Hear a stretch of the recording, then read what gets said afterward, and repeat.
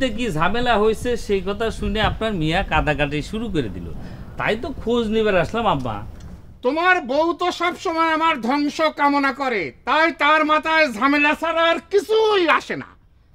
আচ্ছা তোমার কই বাবু আমার বাড়িতে যদি কোনো ঝামেলা হয়েও থাকে তো তুমি এসে কি করবে? বউ কইলেই শ্বশুর বাড়িতে দৌড় দিয়ে আসা লাগবে। আচ্ছা তোমার কি নত্য সত্য কেন লোপ পাইছে? মানুষ জামাই দাওয়াত করে আপ্যায়ন করে বাড়িতে আনবার পারে না।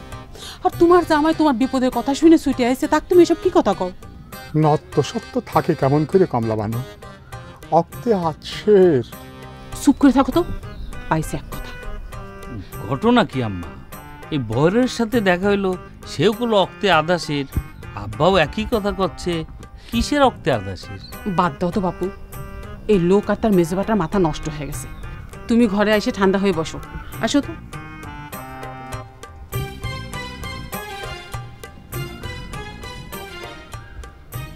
নজর আলীর আমাদা গুড় পাইছো। দাও, এক খাবলা গুড় দিয়ে জামাইয়ের ঠান্ডা শরবত বানায় দাও। ঠান্ডা করো। আল্লাহ আমাকে কি বিপদের মধ্যে ফালাই দাও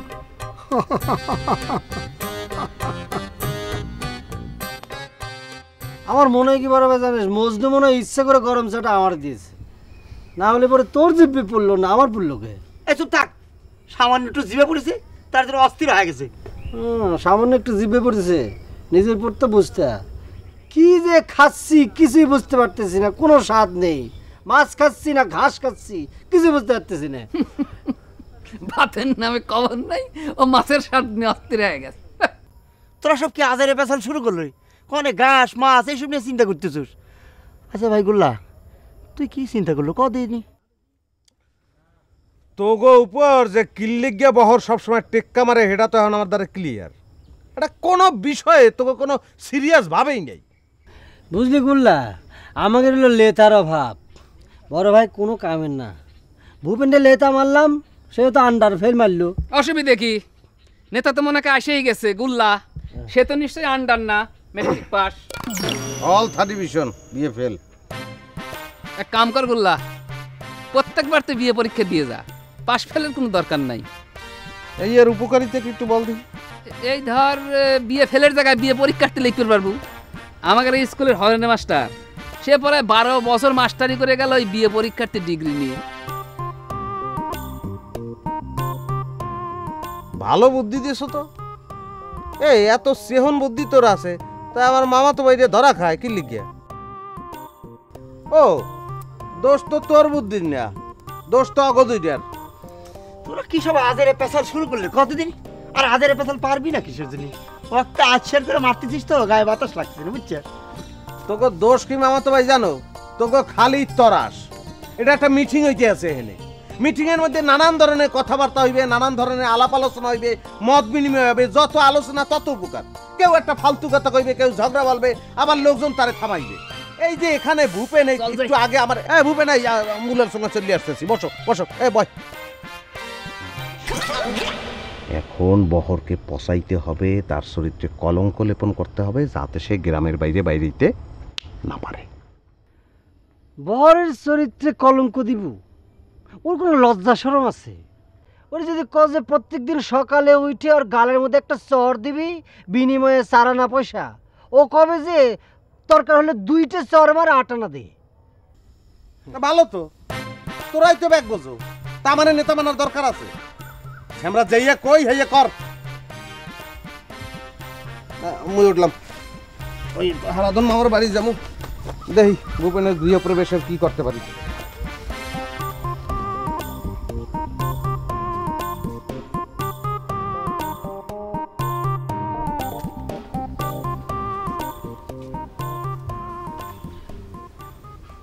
সর্বদে কি গুড় ঠিক মতো হয়েছিল বাবাজি? শরবত তো খাই নেই আব্বা। বাড়িতে নাকি গুণ নাই। দেখলে তো বাবাজি কেমন লক্ষ্মী নিয়ে ঘর করি আমি। কোরবানি ঈদ উপলক্ষে পাকা একশের গুড় কিনে আনিছি। অথচ এখন আমার শোনা লাগতেছে এক গ্লাস শরবত করার জন্যই নাকি বাড়িতে গুড় নেই। আম্মা মনে হয় গুড় বেশি খরচ করে নাই আব্বা। আবার তো রোজা পরে আইসে গেল। তুমি তো বাপু তোমার শাশুড়ির পক্ষ নিবাই। আমি যে কি অশান্তির মধ্যে আছি সেটা তো আমি জানি। বাবাজি, তুমি তোমার বউয়ের কাঁদাকাটির জন্য ছুটে আইছো ভালো কথা। এখন আইসে তো সত্যিটা দেখলে কোনো ঝামেলা নেই। তাহলে এখন চলে যাও নাকি? তুমি আবার এখানে বেশি দেরি করলে পরে তোমার বউ টেনশন করবে না। আমি তো যাবেরই চাইছিলাম, আব্বা। কিন্তু আম্মা না খায় কিছুতেই যাবে দিল না কলো। প্রত্যেকবার যদি না খায় চলে যায় তাহলে সে মনে কষ্ট পায় না। আমার মনের কষ্টটাই তোমার কাছে বড় হয়ে গেল তাই না? এদিকে আমি যে ছাড়া বেড়া হয়ে যাচ্ছি সেটা দেখার ইচ্ছে তোমার হয় না। এদিকে তো একজন আজকের বাবাজি মুরগিটা একটু জবাই দিয়ে দাও তো। মুরগি জবাই মানে? কমলা মানু তুমি কি আমাকে মারে ফেলে বাচ্চাচ্ছ চুপ করে থাকো তো। জামাই এসে দেখতে চাও না? একটা মুরগি জবাই দেবো না। প্রত্যেকবার তো খালি মুখে বিদায় করে দাও জামাই আছে তাই কি আমার ডিম দেওয়া মুরগিটাকে জবাই দিয়ে আমার এই ফলে মূলে শেষ করে দিবার চাচ্ছ? এই মুরগি জবা তো হবি না। এইটা তোমার ডিম দেওয়া মুরগি তাই না? এইটা হচ্ছে একটা মোরগ। জামাইয়ের সামনে অপমান হওয়ার ইচ্ছে না হলে চুপ করে বসে থাকো। আর তা না হয়তো মোরগটা জবাই দিয়ে দাও। তুমি আমাকে জবাই দাও। তোমাকে আমার চেনা হয়ে গেছে। আরে যে জমাই নিত্যদিন আসে তার জন্য আমার মুরগি জবাই কিসে বাবাজি দাঁড়াও। আমার বাড়িতে আজ জম এসে জুটেছে। রক্তে আজ সে গোস্তের গন্ধ পানি পারে এক সেরে ঠেকাবিনি। কমলা মানু আমার মাথায় তুমি বাড়ি দিও না। এই রাখো তো ছাড়ো। নহর এ ফজর এ কোনে গেলি রে? বাবাজি দিকে আসো তো। আসো। ওরে বহর বাড়িতে ডাকাত পড়িছে রে পারলে ঠেকা।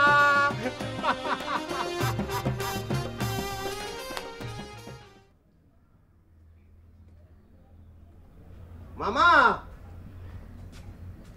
মামা! আতো দত্ত মামা! মামা এ দেখা যায় গুল্লা। কখন আইসু? কেমন আছু? শিবানী তুমি আসো কেমন? মামা কোথায়? ভালো থাকার আর উপায় আছে? তোর মামা তো ভাইরা যা শুরু করেছে। মামা তো সেই চিন্তে চিন্তে বিছনেই পড়ে যাবি। তুমি এইরকম সুন্দর হয়েছে কবের থেকে বলো তো? যা সেরা কি সব কথা কইছে? কেন আমি কি মিথ্যে কথা বলছি তোমাকে? আয়নায় নিজের চেহারা দেখো না? না হারা ধর্ম আমার ভাতে আসলে জাদু আছে। অবশ্য সে কথাই বা বলি কীভাবে শিবানী? ভূপেনকে দেখলে তো আমার মনে হয় যে সে ভাটির দিকে রওনা দিছে।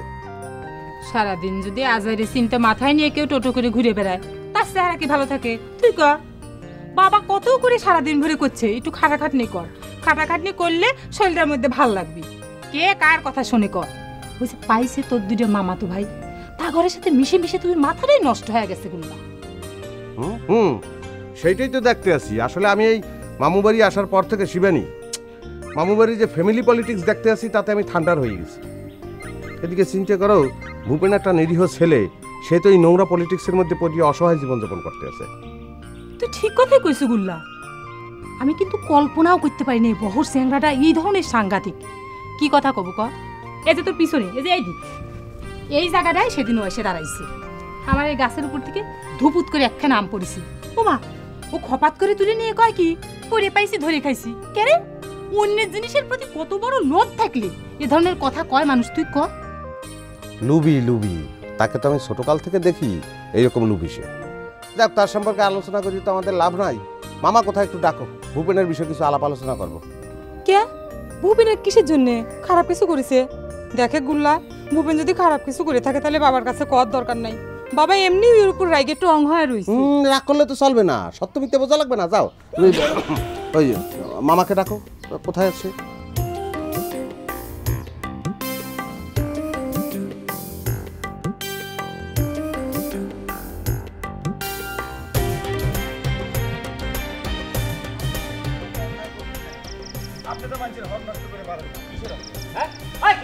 তুই তো কইছি আমার পিস পিস আসবি না। তোর কথা কানে যাচ্ছে না?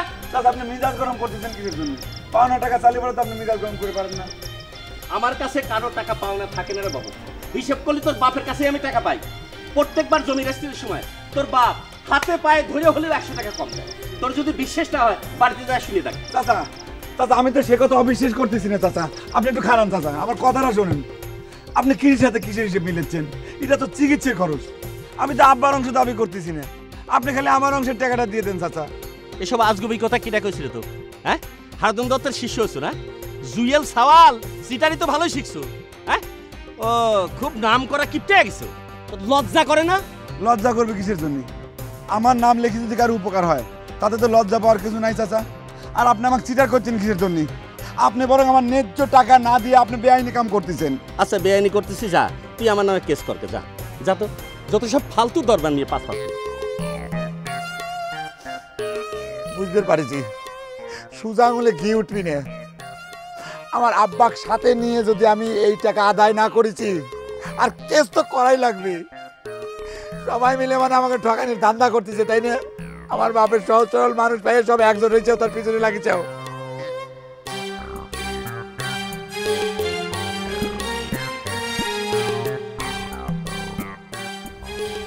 আচ্ছা গুল্লা। যে মামা ওই মালয়েশিয়া যাতে কত টাকা খরচ লাগে কলুরে মালয়েশিয়া? হ্যাঁ। মালয়েশিয়া আপনার ধরেন আমি যদি বলি তাহলে সে কাটা কাটায় তো বলতে পারব না। তবে প্লেনের ভাড়াই আপনি মনে করেন পঞ্চাশ ষাট হাজার টাকা নিম্নে না। হ্যাঁ? এত টাকা খরচ করে প্লেনে দেওয়ার কোনো মানে হয়? সব কিছুতেই বাবুগিরি। এই হুম। আচ্ছা ওই বাসে ট্রেনে গেলেই মনে কয় মেলা কম খরচে যাওয়া যায় তাই না? হুম হুম হুম বাসে ট্রেনে যান যায় কোনো সমস্যা নাই। আজকাল তো মামা শুনি যে ওই শ্যালো নৌকায় মানুষ মালয়েশিয়া যায়। ভূপেনও যাইতে পারে সমস্যা নাই কিন্তু মালয়েশিয়া যে পৌঁছাইতে পৌঁছাইতে দুই একটা মোষ পাইকে যেতে পারে তার। পাকে পাকুক জ্ঞান। শোনেক যাদের টাকার উপর মায়া আছে তারা কষ্ট করে। ও তো ধাতেই মানুষ হয় নাই। অযথা বাবুগিরি করে পঞ্চাশ ষাট হাজার টাকা খরচ করার কোনো মানেই হয় না। মামা আমিও তারা সেই কথা বলছিলাম। কিন্তু সে কয় যে টাহা যে বাঁচামু কার লগে বাঁচামু? বউ নাই ছেলে সন্তান নাই। দেখো সুবুল্লা দেখে ওর মাথাটা কিরম নষ্ট হয়েছে সেটা দেখে শরীরে যদি একটু মায়া দয়া থাকে রে কে রে? বাপের জন্য তোর মায়া করা লাগবি না। সে তোর জন্মদাতা না তুই ক? হুম। ওরে না ওই ভূপেন তো কয় হেই দেয়া সেই আর আইবে না। মামার মোহে আগুন দিতে আইবে না। তোমাদের মধ্যে কি যেন বলে মুখাগ্নি না? ওইও করবে না সে। রাম! রাম রাম করিস না। এইটা একটা ভালো চিন্তা করেছে এমনিতেও তুই টাকা আসবে নিষেধ করে দিস। আমার মুখে আগুন দেওয়ার জন্য প্লেনের এক গাদি টাকা খরচ করার দরকার নেই। বাবা তুমি এসব কি কথা করছ? হ্যাঁ? সি সি সি সি সি টাকা তুমি এক বিদেশ যেতে দিবে হ্যাঁ? এমনি ঠাকুর দেবতার নাম বলে মুখে নেয় না। তারপরে বিদেশ গেলে যার ধর্ম কিছু থাকবে? ওরে বাপুরে আগে আমার ঘাড়ের তিন বুঝা নামুক তো তারপর জাত ধর্ম হিসাব করব। এ বাবা গুল্লা তোকে যে কথা কইলাম তা বুঝা কুস হ্যাঁ? আচ্ছা মামা। তাহলে আমি একটা কাজ করি আমি ভূপেন্দ্রে বুঝাইয়া এইবারই নিয়ে আসি। যদিও সে আসতে চায় না তখন আপনি আবার তারে বুঝাই বলেন। দুই দিন পরে দেশ ছাড়িয়ে যেহেতু সে চলিয়ে যায়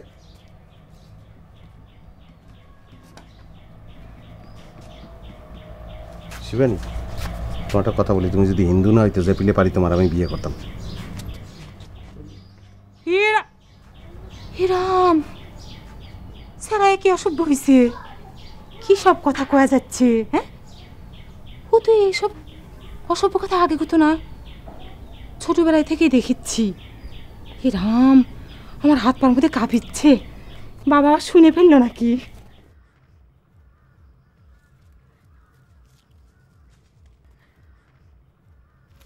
মাইজে ভাই এমন করে হাঁটতেছেন মনে করে রাস্তার মাটি শুদ্ধ ডাইবে যাবে। এই চুপ করে থাক। আমার মিজাদের হিসাব নিচ্ছ তাই না? এই তোর বাপ আমার পাওনা টাকা দেয় না কিসের জন্য রে?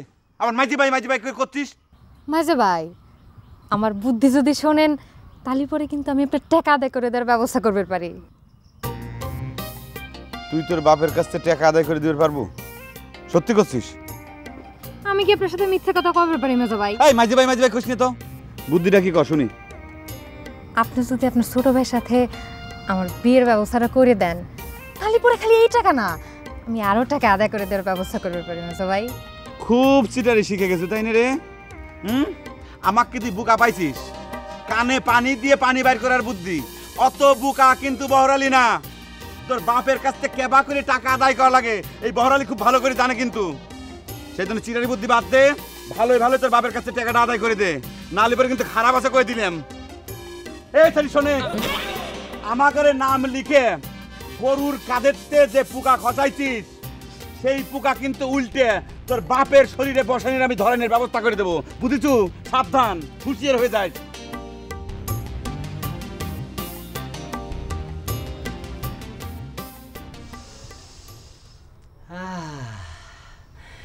মুরগির গ্রান দিয়েছ মশলার গ্রানটা দিয়েছিস। ঝোল ঝোল করে মুর দিয়েছ মুরগির গোস্ত খাব জিব্বা পুড়ে গেল খাব কিরাম করে চুপ করে বসে থাক না তোরা না কাপলে মুরগির গোস্তের সাহায্যে না খেতে ভুলে গেছিস? আচ্ছা সত্যি করে কত ঘটনা কি? এ তোকে খাবার বন্ধ হয়েছে কে? হ্যাঁ? এটা কোনো প্রশ্ন করলে তুলে ভাই? আমাকে খাবার বন্ধ হতে কোনো ঘটনা লাগে? আপনার শ্বশুর মশাই আছে না? উনি তো কোনো কোনো উৎপাইতে থাকে। কোন সুতোয় খালি ভাত বন্ধ করবে? কিছু নেই কেন ভাত বন্ধ করলেই চাইলটা পাইছে। নহর না কয় দিলে ভাই। আব্বা এবার এমনি এমনি ভাত বন্ধ করে নাই। এই নহরের কথা মতো আব্বার সাথে আমরা সিটারি করে গেছিলাম। আমি ভাই বেইমানি করিস না কিন্তু। আমি কিন্তু গোল্লার কাছে সব কিছু কয়ে দেবো। গোল্লা করলি কি হ্যাঁ? গোল্লা কি আমাকে খাওয়া পড়া দিতেছে? থাম থাম। আচ্ছা নহ। ঘটনা সত্যি নাকি? তোরা নাকি কি একটা বল পাইছিস? হ্যাঁ বল তো একটা পাইছিলাম। তবে সেটা শোনানোর পরীক্ষা করার আগেই এই যে বহর আছে না ও তো চুরি করে নিয়ে গেছে। দিলে ভাই ওর কথা আপনি বিশ্বাস করবেন না। এবারে ভাই বিশ্বাস করবে না মানে? আচ্ছা বর বল চুরি করেনি? তা করেছে কিন্তু কিন্তু কি? কোনো কিন্তু নেই। আচ্ছা দুলে ভাই আপনি একটা কাজ করবেন? আপনি বহরে গিয়ে কবেন? এই বলের আপনি একজন অংশীদার। বুবুর হক আছে না? আপনি গিয়ে আপনার হক দাবি করবেন। দেখবেন খেলাটা কিরাম জমে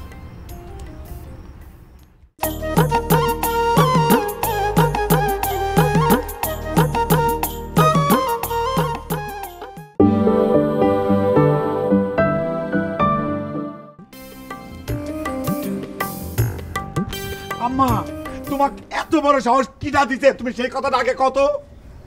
আমার কারও কাছ থেকে সাহস ধার করে চলা লাগে না। তুই কি কবে আইছো সেটা ক তালিবানে তুমি কিসের জন্য? সজ্ঞানে সুস্থ মস্তিষ্কে তোমার স্বামী কি স্টোকের দিক ঠেলে দিচ্ছাও স্বামীর কথা বাদ দে। তোর স্টক করতেছে কিনা সেই কথা ক আম্মা তুমি এত নিষ্ঠুর। নারী জাতি যে এত নিষ্ঠুর হবে পারে তোমাকে যদি আমি আগে না দেখতাম জীবনে কোনোদিন বিশ্বাস করে পারতাম না। তুমি এত বড়টা সর্বনাশ করে ভাড়া দিলে তোমার পাঁচটা বর্ণে একটা কথা কইলো না। জলজ্যান্ত মুরগিটাকে তুমি জবাই করে ভাড়া দিলে।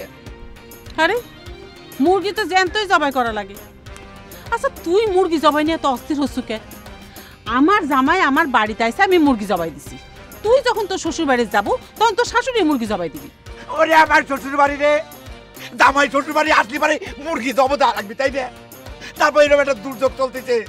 তোমরা সকলে মিলে ষড়যন্ত্র করে আমার বাপে সর্বশান্ত করার চেষ্টা করতে চাও। এ আর নতুন কথা কি? তোর বাপ তোর দিনের মধ্যে কম করে হলেও পঞ্চাশ বার এই কথা কয়। নতুন কথা থাকলি ক। নতুন কথা না নতুন কথা কলি পারে অনেক বড় কিছু হয়ে যাবে পারে বুঝছ এই কি হয়ে যাবার পারে রে? কি খবর চাচ্ছ তুই? তোর বাপে কি আমাকে তালাক দিবার কবু? ভালো করে চিন্তা ভাবনা করে ক বাকি তো শুধু ওইটুকুই আছে। চিন্তা ভাবনা করেই দেখেছি। এই সংসার আর আমার বাপের সম্পত্তি রক্ষা করার জন্য মনে হচ্ছে এই সিদ্ধান্ত নেওয়া লাগবে। হরিণ চুরে বাড়ির ভিতর না। কি যা মুরগিকে আমি দেখব। মুরগি গলার ভিতর থেকে নলির ভিতর থেকে হাত টানলে ঢুকে ট্যাং টুক সব বাড়িকে নিয়ে আসব। কারাও দেখাচ্ছি বোধা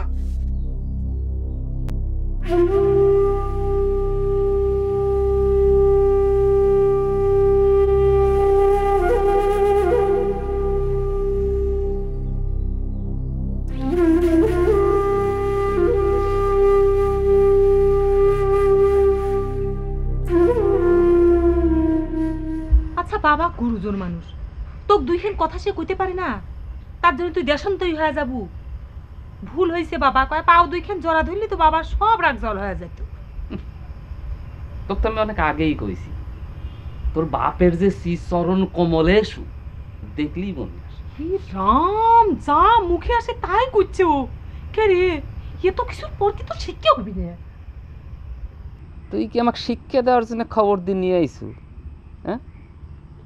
তোর শিক্ষা নিলে তো তোর মতো আমার জীবনও নষ্ট হয়ে যাবে। যাই গে। কে দেখছু? এই ভূপে নেই।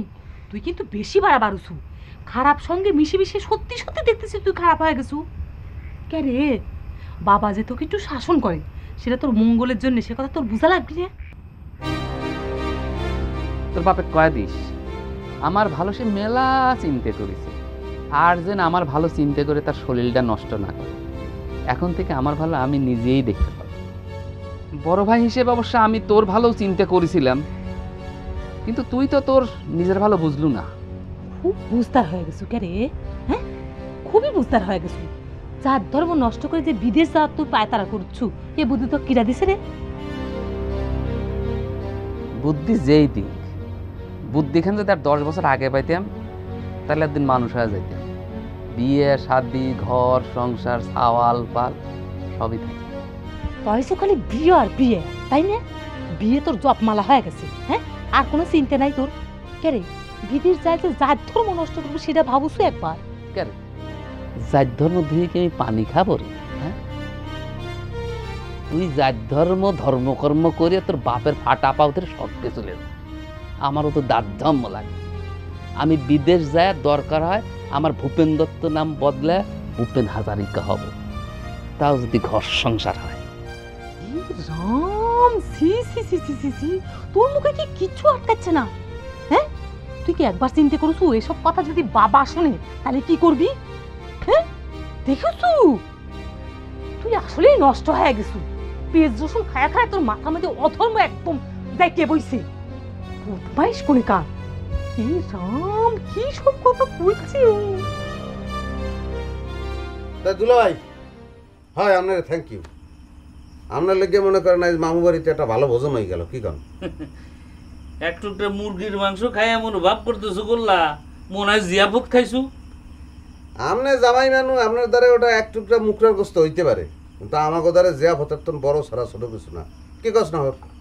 খাইছি তো রে ভাই এখন হজম করতে পারলে হয়। কে? শুনলাম তোমার মামা নাকি বিছানায় পড়ে গেছে। এই তো পয়েন্ট মতো চলে আইছেন। এখন মনে করেন মুখরা লজ্ঞা একটা তরতাজা মানু শয্যাশায়ী হয়ে গেছে তার অবস্থা লবে যান এটা কি জিয়া ভতার তো কম কিছু? অত খুশি আর কাম নাই করলা মুরগির সালন্দা ভাত খেয়ে মনে তো পার পায় যাব না। আমার কথা কয়ের পাই না জামাই মানুষ পার পায় যাবেরও পারে। তো মুরগির সালন্দা ভাত খাওয়ার খিসারত কেবা করে দেওয়া লাগে সেটা টের পাবো নি। দোষ শ্যামরা তুই বোঝো কিছু? এটা মোর মামু বাড়ি বেটা মোর লেগে সাত মা গোল্লা রে মুরগির সালনটা কিরাম হয়েছিল রে? আমার হাতে মুরগির সালুন যা টেস্ট রে। লোল খাইস না রাইতে একটা কাম করব মানে খাইয়েই হাত দুমু না হাতটা একটু সাইড খাইস।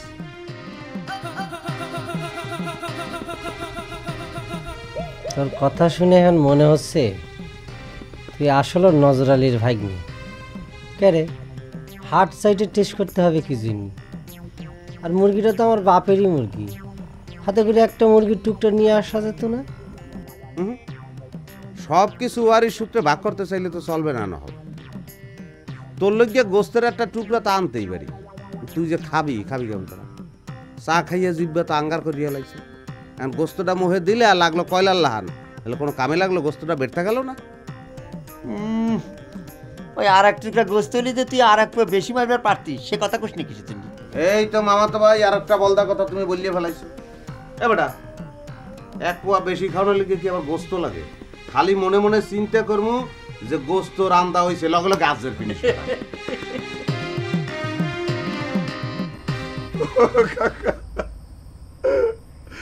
আমার কি অবস্থা হয়েছে এই বহর, আসার পরের থেকে এমন ভাবে কাঁদা শুরু করিছো।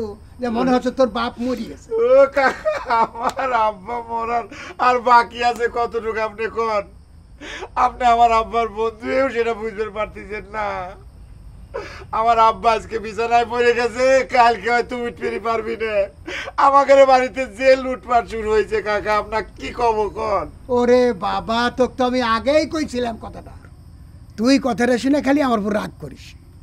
সিন্নি মানত করিয়ে যদি সিন্নি দেওয়া না হয় তার একটা অ্যাকশন হবি না? ও কাকা আমি আপনাকে নিজি মুখে কথা দিচ্ছি। আমরা এই বিপদের তাকে উদ্ধার হয়ে নেই। আমাদের যত চিন্নি বকে আছে সব পরিশোধ করে দেব। তাও আপনি আমার আব্বাক বাঁচান কাকা। আমি তোর বাপেক বাঁচাবো কেবা করে? তোর মা ভাই জামই সব এক হয়েছে আমি কি করব সকলে এক হলিবারে হয়ে গেল তাই না? দরকার হলে পরে আপনি গ্রামের আট দশজন মানুষ ডাকি নিয়ে আমার মা আমার ভাই করে ডাকাতির বিচার করেন। আপনি চিন্তা করে দেখেন কাকা আমার বাপের চোখের সামনে দিয়ে জলজ্জন্ত মুরগি দেখা নিয়ে যায় জবাই করল। দুঃখ করে কি করবি রে বহর? তোকের মধ্যে এটাই নিয়ম। জামাই বাড়িতে আসলেই একটা মুরগি জবাই দেয়। হ সব নিয়ম তো খালি আমাদের মধ্যে। খালি খরচের নিয়ম। আপনাদের ভিতরে এসব নিয়ম হয় না কিছুর জন্য? খালি মাছ খাওয়াইতে আপনারা বিয়ে পার করে দেন। আমাদের জাতির উন্নতি হবে কেবা করে? খালি তো পারে খাইবের আমার কথা চিন্তা করলে পরে এই মুখের ভিতর কেন ধর ধর করে উঠতেছে?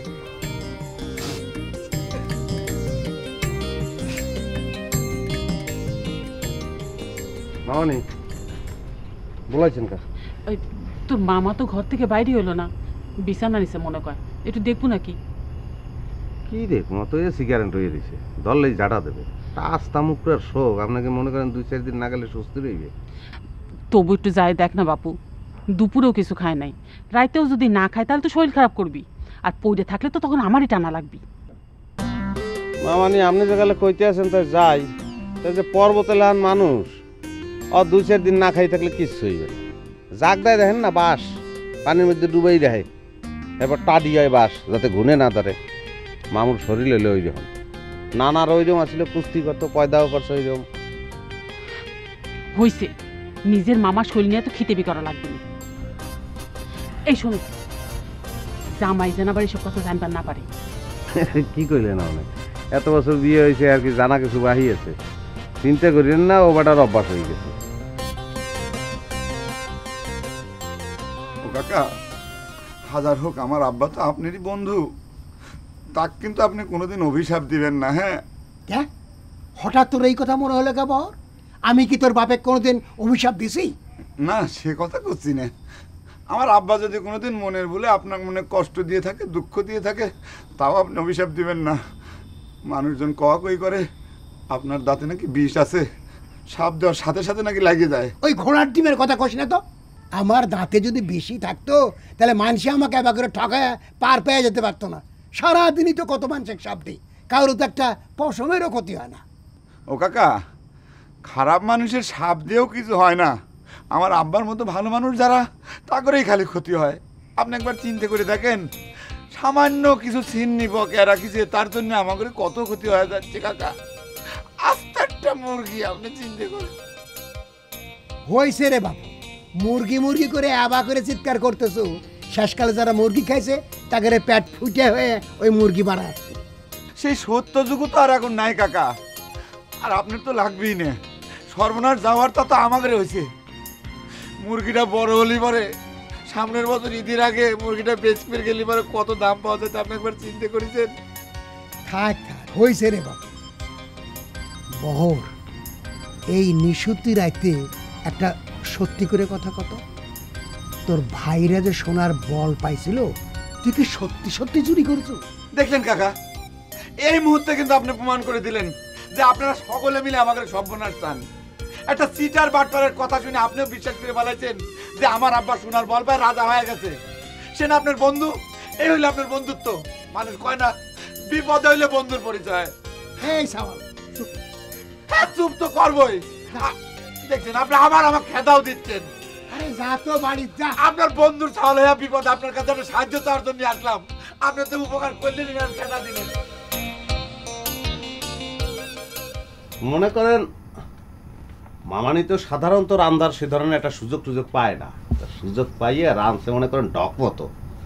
মনে করছে তো তেলও দিছে একটু বেশিও না কমও না। আবার মনে করেন জাল বেশি হয় নাই কমও হয় নাই। ওই গোল গোল আলু আছে না লাল আলু এই দিছে। তারপর মনে করেন আবার পেঁপেটা একটু মারিয়ে দিছে যে কারণে। সেদ্ধ হয়েছে অন্যরকম টাকরায় দিছি চাপ দিছি আস্তে গলিয়ে গেছে।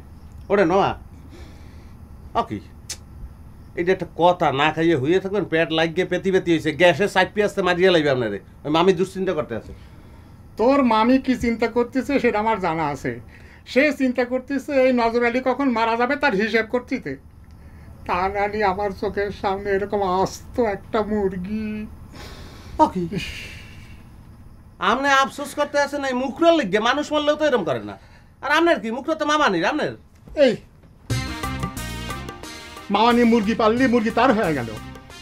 কারে এই মুরগি কার খায় বড় হলো? এই নজর আলী তোরা তো তোর মামানির হয় কথা কবুল। গোস্ত দিয়ে তো একশের চাইল নাই করে দিছে। না মামা আগে লাহানা পারি না একশো তো দূরের কথা তিন পোয়া পারি না আর বাবার দুয়ে দিয়ে গেলে চা খাইছি টাস করে কি দেড়া মরে গেছে।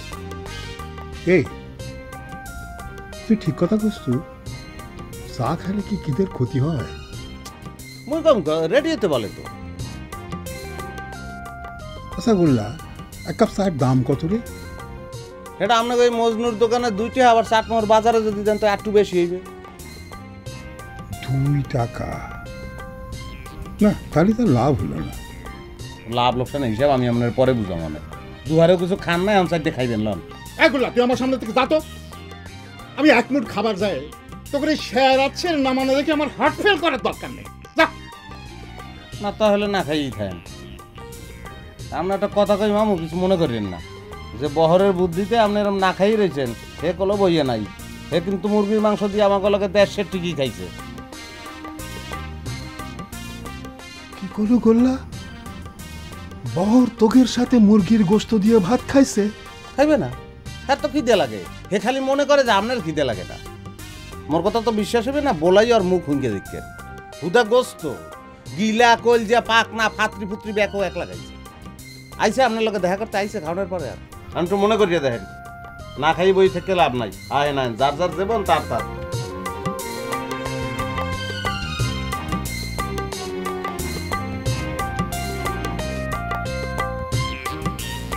এই তাড়াতাড়ি খায়ে হাত মুখ ধুয়ে বসে থাকিস। বহর যেন টের না পায়। আচ্ছা গুল্লা গেল কোনে? আম্মা আমার না জিভে পুড়ে গেছে এই যে। হ্যাঁ। এক টুকরো গোস্ত আমার স্বাদ হবে না। আর এক টুকরো গোস্ত দাও না আম্মা। এই স্যার হাই গোস্ত স্বাদ না লাগলে তোর খাওয়াই উচিত না। তুই আর একটু একটু বেশি চাচ্ছিস কে আম্মা তুমি ওর কথা শুনি না তো। এই চুপ করে তো গোস্ত নিয়ে নাড়াই বাদাই দিছু। তুগারে যে ভাত বন্ধ সে কথা কি ভুলে গেছু? দেন না মা। নহর আর ফজরে আর এক টুকটে গোস্ত বেশি দেন। আমি রাইতে গোস্ত খাব না। স্যাংরা দূরে বড় আশা করেছে। না হুজুরা ভাই আপনি জামাই মানুষ গোস্ত সারা কি খাওয়ায় আমার গোস্ত দাও। এই তোরা কি লেকচার মারবো না খাব? বহর আইসে পড়লে করলাম কপালে ভাত জুটবি না আম্মা তুমি বহর আসার চিন্তা করতে চাও না? আর আমি চিন্তা করছি গোল্লার। ওই গোল্লা যদি আসিয়ে পড়ে হাতিটা আসিয়ে আমাকে পুরা ভাত একলে সাবার করে দিবে বাবা বাবা আম্মা, খুব ফাইন আম্মা। তুমি তো ভালোই টিরিক শিখে গেছো নিজের স্বামীক মৃত্যুর দিক ঠেলে দিবে পারে, তোমার যদি আমি না দেখতাম, তাহলে পারে জীবনে কোনোদিন বিশ্বাস করে পারতাম না। জাগের জন্য আমার আব্বাস পথের ফকির হয়ে যাচ্ছে। সেই সব সত্তর করে তুমি আতর করে বসা নিয়ে মুরগির করতে দিয়ে ভাত খাওয়াচ্ছাও? বহর খামাখা রাগ না করে বসে পড়। সকলে মিলে সাইডে খায় নেই। দেখ আমা কি সুন্দর গোস্ত পাক করেছে। মাগনা গোস্ত খাতি তো ফাইনই লাগবে তুলে ভাই। গোস্ত খাওয়ার জন্য আপনার বউ যে প্রত্যেক রাত্রিরে স্বপ্ন দেখে সেটাও আমরা বেশ ভালোই বুঝি। দেখ বহর জামাইয়ের সঙ্গে উল্টো পাল্টা কথা কবি নিকলা চড়ায় মুখ ভাঙে দিবানি। আমার বিচাকের আমি খাবার দিছি। তার জন্য যদি আমার জেল হয় ফাঁসি হয় ওই সে কথা তুই আমার সাথে কর। তোমার সাথে কোনো কথা নাই। এখন খালি ফল দেখবে ফল। যে মুরগির জন্য আমার আব্বাস সহ্যে চাই সেই মুরগির গোস্ত। মামানি। বহর উত্তেজনা হইস না? গোস্ত তুই খাবি সমস্যা নাই। গোস্ত তোর লেগে বেশি রেহা হয়েছে ব্যাটরি খাইলাম হ্যাঁ একটা মহাব্বতের ব্যাপার। না শুরু কর। খবরদার গুল্লা আমার সাথে ইয়ে কি করবি না কিন্তু কয়া দিলাম? যে মুরগির জন্য আমার আব্বাস সহ্যে চাই সেই মুরগির মাংস তোরা আমার খাবের কোষ আমি কি তুকারের মতো বেইমান নাকি রে? থুস আমরা তুই আসলেই ভালো। দেখছেন দুলে ভাই? কির মুখরার মাংস বেটা? গরুর মাংস বাসুর গরু। বেটা ব্যাগটি তোকে লগে আসতামসা করছে। তোরে আর মামারে খেপানের লিগে। খা। দেখ গুল্লা আমার সাথে কিন্তু তুই চিটিরি করবি না। কুল্লা ঠিক কথাই কয়েছে রে বহর বিশ্বাস নয় খায় দেখ।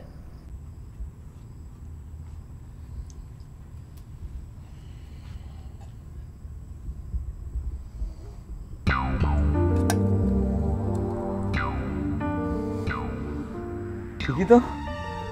মুরগির গোস্ত তো মনে হচ্ছে না। একটু খাই দেখ।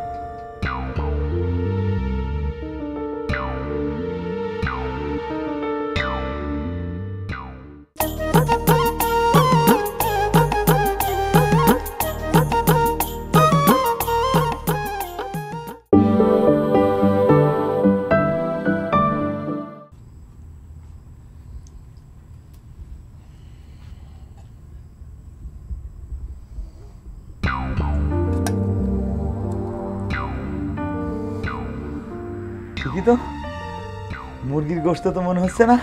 একটু খাই দেখ।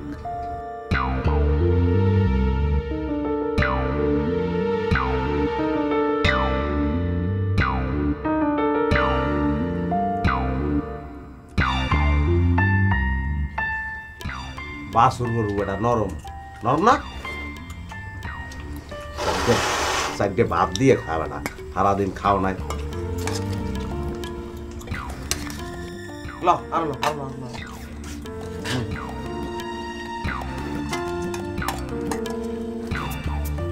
এই যে এখন বেটা এরকম যে টাক্কা দিয়ে খাইতে আসো মাংসটা। বেটা মামানি ইচ্ছে মতন ডালিয়ে তেল দিছে দেখে আসেন জিনিসটা মজা হয়েছে বেটা তেল লইয়ে মামানির লোকে ঝগড়া করো বেটা একটা বোতলের মুখ এই হিপডির মুখে একটা ফুটা করে লইছো ড্রপে ড্রপে তেল পরে। এতে রান্দা নয়। তরকারি যে ছেঁচড়া পোড়া দিয়ে।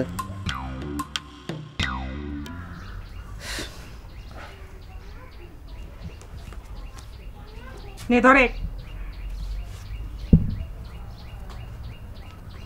তুই এত খারাপ হয়ে গেছু হ্যাঁ? এরকম একটা অন্যায় করার পর তুই একটাবার বাবার সাথে দেখা পর্যন্ত করলু না। কথাটা আমিও তো তোর বাপের কবের বাড়ি। আমি ফিরে আইছি শুনে তোর বাপও তো আমার সাথে দেখা করে পারতো ই রাম ই কেমন ধারা কথা করছ তুই হ্যাঁ তুই তো আচ্ছা বেহায়া হয়ে গেছু। বুঝেছি রে। এই গায়ের বিয়াদব ঘরের সাথে ঘুরিয়ে ঘুরিয়ে তুই গুল্লায় গেছু। তোকে নতুন করে কি করব আমি? দেখ শিবানী চুপ করে থাক। এই কয়টা মুড়ি খাইবে দিয়ে এত কথা কইস না তো। তোর সাথে কেউ কথা করছেও না। খাওয়া দাওয়া শেষ করে বাবার সাথে যায় দেখা করিস। সে তো কি জন্য কবি। আমি তো তোর বাপের কোনো কাম করে পারব না রে শিবানী। যদি কোনো কথা থাকে তুই শুনে রাখিস। কে? বাপের কাম করতে পারব না কে? তুই বাপের ভাত খাস নে। তাছাড়া বাবা যে কামের কথা কবি সে ভেজাল তো তুই বাদায় রাখিস। ভেজাল বাঁধায় রাখছি মানে?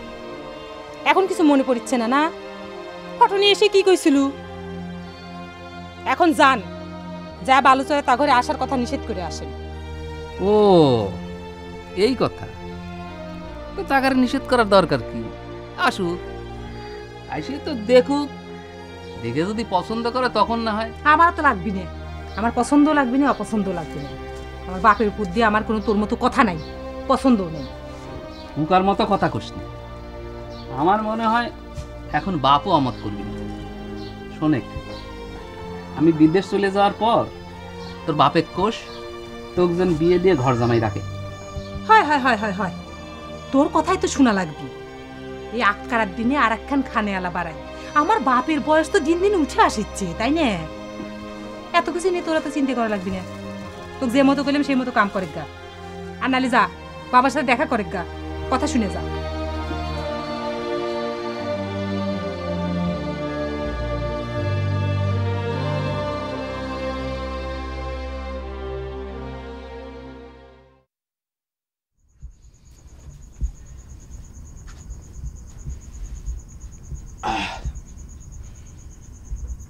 আব্বা, আপনি এখনও না খায় বসে আছেন। খায় নেন। আমার কি মনে হয় জানেন আব্বা? এই নরম পথে কোনো কাম হবে না। আপনার শক্ত হওয়া লাগ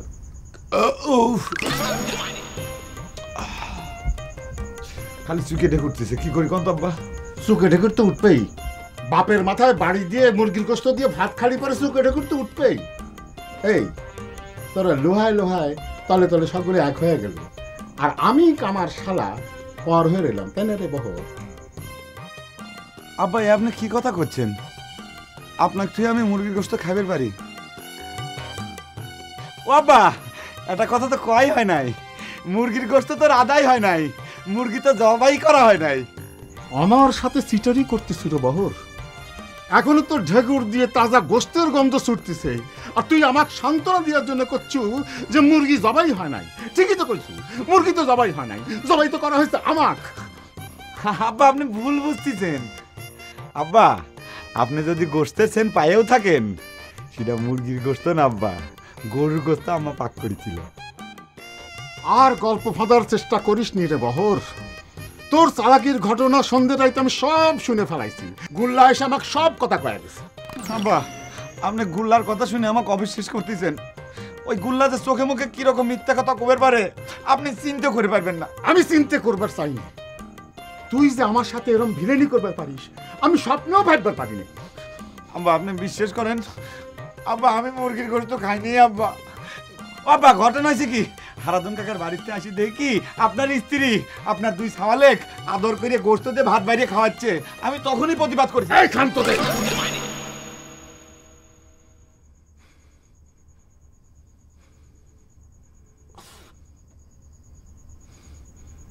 আপনার কথা ছাড়া আমি একটা চোখের পলক পর্যন্ত ভালাই নে। আপনি গোল্লার কথা শুনে আমাকে অবিশ্বাস করলেন আমা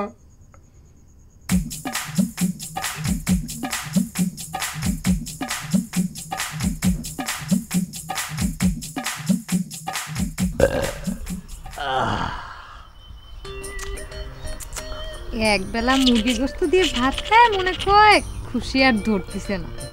ও রেশমা তোমার তো কথাটা কয় হয়নি। মনে করো যে খাওয়া পিয়া শেষ। হঠাৎ করে গোল্লা করছে গোস্ত তো মুরগির না গরুর। বুঝছ মজা যা হয়েছে না কি কথা কও? খাওয়া শেষ করেও টের পালে না গোস্ত মুরগির না গরুর। সেই কথাটা আইসা গুল্লার কয়ে দেওয়া লাগল। আমার কপাল? কোন ভাদালের জন্য এত সময় নষ্ট করতেছি? আমি মেয়ে মানুষ না পুরুষ মানুষ সেই কথাটাও মনে করে গুল্লার আইসা কয়ে দেওয়া লাগবে কয়দিন পরে। সমস্যা তো হয়েছে অন্য জায়গায় রেশমি। চা খাইবার দিয়ে শালা মজনু শয়তানি করে আমার গরম চা দিয়ে দিস জিব্বাখানে পুড়ে গেছে? কোনো কিছুরই আমি স্বাদ খুঁজে পাচ্ছি না। গোস্তটা ঠিক মতো খাবার পারিনি চা খাবার যায় জিপ পুড়ে যায়। জুয়েন বেটা চাউল হয়ে ইরাম কথা কতি তোমার লজ্জা করে না? সি সি সি সি সি সি লজ্জা তো আমারই মুখ দেখাতে ইচ্ছে করতেছে না।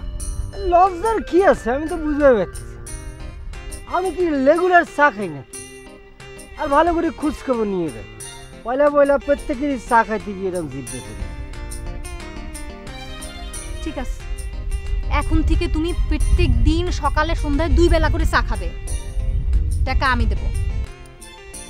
কালকে খুব ফাইন হয় রে। শালা মজনু আমার গরম চা খেয়ে জিব্বা খান পুড়ে দিয়েছি। এর সুদটা নেওয়া যাবে। চায়ের টেস্ট যদি খারাপ হয়, ওর মুখের উপর চায়ের কাপ ছুঁড়ে দিয়ে খাব। এই দুধ দে চিনি ভালো করে দুই চামচ দে লিকার ভালো করে। এই কিরম করে ধুয়ে দিস ভালো করে গরম পানি দিয়ে ধুয়ে দে গিলাস ফাইন হবে না? হবে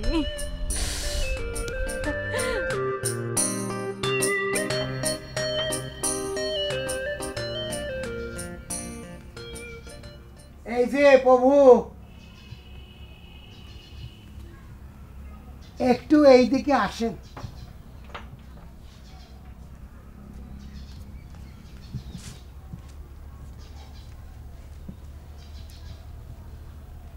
কিছু কবেন আপনার দর্শন করে পাপস্খলন হোক। আপনার কন্যা কইল আমার জাত ধর্ম সব গেছে। আমি মহা পাপী মানুষ।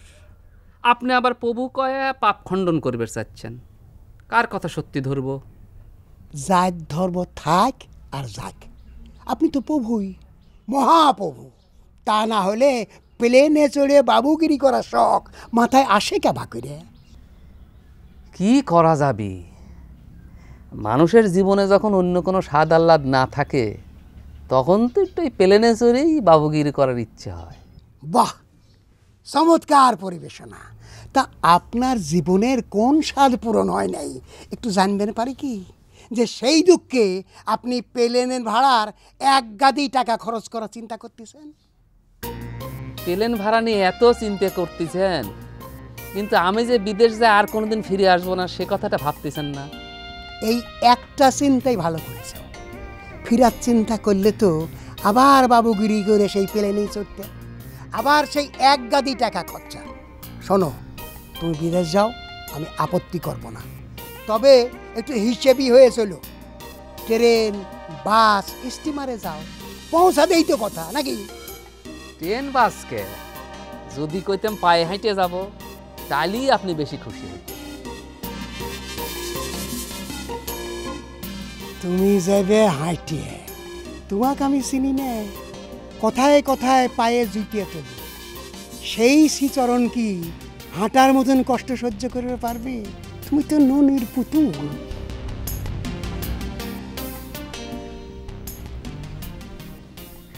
দিলে ভাই, সুমকিক যদি একবার দেখতেন তার সাথে যদি কথা কইতেন তাকে আপনি অপছন্দ করে পারবেন না, সেটা আমি গ্যারান্টি দেখে পারি। তোর কি মাথাটা তা খারাপ হয়ে গেছে রে ফজর কে দিলে ভাই? চুমকি কি আমি দেখি নাই? তার সাথে কথা কই নেই? আমার বিয়ের প্রথম দিন থেকেই তো চুমকি রেশমা ওকে দেখতেছি না। তাই তো। আমার ভুল হয়ে গেছে দিলে ভাই। কি করব কন? বয়সের কানি যে ছাড়ে যাচ্ছে। সামনে তো কোনো আলোর পথ দেখতেছি না। কি করব ক? আমি তো তোকে আলো দেখানোর চেষ্টা করেছিলাম। তো আব্বা তো কোনো কথাই শুনবে চায় না। তা তো শুনবে চাবি নেই তার বাপ যদি তাকে বিয়ে না দিত তাহলে কি বা টাকা বুঝতো? নিজে বিয়ে সাদিকে সাল পাল হয়ে গেছে তো আমাদের সাথে শত্রুতা করতেছে। তাহলে এক কাম করি রে ফজল। আমি তো জামাই মানুষ জোর করে কিছু করবার পারি না। তোর বুক পাঠাই দি। তোর বুবু একটা কিছু করবার পারবি না না দিলে ভাই বুবু আসলে হিতে বিপরীত হয়ে যাবেনি সে একটা মাথা গরম মানুষ এমন ভেজাল বাধায় দিবি নি। এখন তো তো একটা আশা নিয়ে আসি দিলে ভাই তখন দেখা যাবে সবই শেষ। তাহলে তো আমার আর কোনো বুদ্ধি নাই রে ফজল। দিলে ভাই আপনি আব্বা কয়া চুমকির সাথে আমার বিয়ের মতটা নিয়ে নেন। তা কবেন? বিয়েতে কোনো খরচ করা লাগবে না? দরকার আমি ঘর জামাই থাকব না। তার বোর ভাত তো দেওয়াই লাগবে না। আমার মতো বাইসে যাবে না। আপনি এরম করে একটু বোঝায় কর না। দেখি তুই এত করে যখন করছু আবার কয়ে দেখি কিন্তু তার যে মনের অবস্থা কে তুই একটা ইয়াং ছেলে দাড়ি কাটিস না কে হ্যাঁ? কি আর কব দিলে ভাই? দাড়িতে কাটবো টাকা পাবো কানে ও, তা আমি দেবানি মোল্লার মাথায় কিন্তু হেভি হিটলারি বুদ্ধি আছে। এমন করে বরে প্যাসের মধ্যে ফালাই দিল। বর নিজেই ভাত দিয়ে মাংস দিয়ে খাওয়া শুরু করে দিচ্ছে বুদ্ধি থাকবি না কে? সকলে কি তোমার মতো বিন্নের ঝোঁক মনে করো? অনেক ভাইবে চিনতে দেখলাম রেশমা যে গোল্লার মাথায় এত বুদ্ধি কি জন্য? তারপর যেটা পাইলাম সেটা হলো বংশগত। নজর আলীর ভাগ্নে না সে? দেখলে তো তোমাকে যে বিন্নের ঝোপ কলাম সেটা তো এমনি এমনি কই নেই এমন তো প্রমাণ হয়ে গেল। গুল্লা ভাগ্নি হয়ে যদি এত বুদ্ধি হবে পারে তুমি যে নজর আলীর বেটা সেটা মনে হচ্ছে না। তোমার মাথায় কিসের জন্য এত গোবর ভর্তি? তাই তো এইভাবে তো আমি বিষয়টা তলায় দেখিনি। তবে রেশমা যাই কেউ নাই কেউ তোমার মাথায় কিন্তু অনেক বুদ্ধি। যাক আর চিনতে নেই আমার একটু কম হলি পরেও চলে যাবে। হায়রে ভগবান! কেন রেশমা এসব কি? সি সি সি সি সি সি সি। সিসি করতেছো গাছি বানি দিয়ে সিসি করার মতো আমরা কি করেছি? দেখলু কীরকম পাকা হয়ে গেছে আবার চোখ তুলে সে কথা জিজ্ঞাসা করছে। তুই জিজ্ঞাসা করছ আমাকে কি করছ? হ্যাঁ? কেন সিন্ধে এই ভরা দুপুর বেলায় একটা আবির তো সালের সাথে জঙ্গলের মধ্যে দাঁড়া থেকে ঢলে ঢলে কথা করছু? গায়ের উপরে হাসি হাসি পড়ছো? আবার আমাকে জিজ্ঞাসা করছ কি করছ? লজ্জার কি আছে? আমরা তো গোপনে কিছু করতেছি না। তাছাড়া সকলেই জানে আমরা ভালোবাসা করি।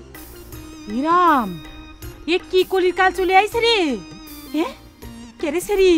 তোর ভয় ডর কি কিচ্ছু নাই? তোর লজ্জা করছে না? আমার তো গা গুলা উঠিচ্ছে। এ না মনে হয় ছোট মানুষ তোর কি ধরনের আক্কেল? তুই কি ধরনের বেহায়া কাজ করছিস এখানে দাঁড়া থেকে সি সি সি সি সি? এই শিবানী এই এজন্য তোর উপর রাগ হয়। নিজে তো বিয়ের সাথে প্রেম ভালোবাসা না করে লাউয়ের বস হয়ে গেছু। অন্য করে সেরাম পাবো না। ক্যারেশমি কলার শুনিসনি? আমরা দুজনে ভালোবাসা করি। এ মা এসব কি কথা করছ তুই? তুই আমাকে করছ এইসব কথা? হায় রে হায় ভগবান! কি বুকা সুখা সাল কয়, আমি তোকে জানতাম। তোর পেটে পেটে এই বুদ্ধি হ্যাঁ কাকার কাছে সব কথা কয় দিব। সব কথা পই পই করে কব। এখন তো আমার কাছে গঙ্গা জলের মতো পরিষ্কার। কি জন্য আমার ঘরে ভূপের এই কথা কয়? কি জন্য আমার ঘরে ভূপের নষ্ট হয়ে গেছে? সব আমার কাছে জলের মতো পরিষ্কার। কাম নাই, কাজ নাই, বাপের অন্ন ধ্বংস করছু, আর জঙ্গলের মধ্যে এসে ঝুলন লীলা করছু হ্যাঁ দাঁড়া, আজকে যদি নজর আলী কাছে সব কথা না কইছি, ভাত যাতে বন্ধ করে দেয় বাড়ি থেকে দেয়। গুল্লা খারা কিন্তু। তোর পিটারে আমি শেষ করে দেবো। তুই বাজে কথা কয়ে আবার মন ভেঙে দিছিস। একদম ইট মারি দিলাম কিন্তু খারা কিন্তু গুল্লা এই ইট যে মারবি ইটের দাম কত জানো একখান ইটের? হ্যাঁ মার নিয়ে বেচে দেই। কম করলেও ছয় সাত টাকা পাম বেটা কি? ছয় সাত টাকা দাম?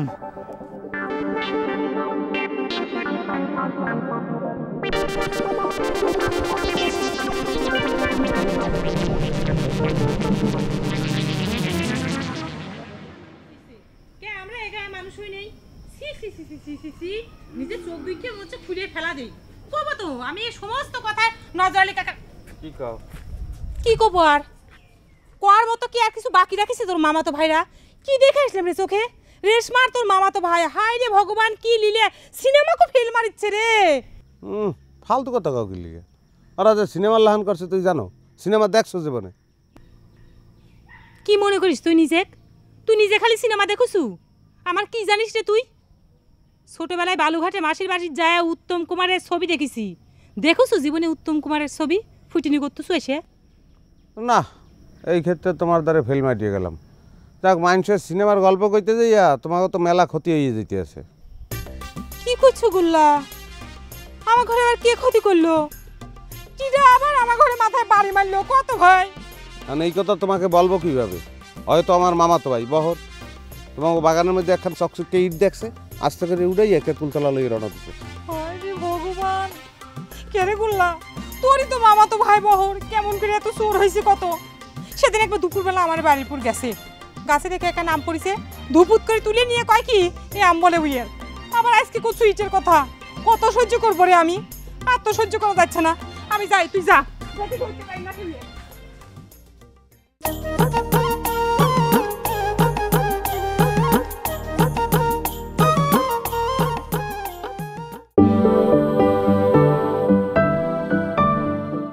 না এই ক্ষেত্রে তোমার দ্বারে ফেল মাটিয়ে গেলাম।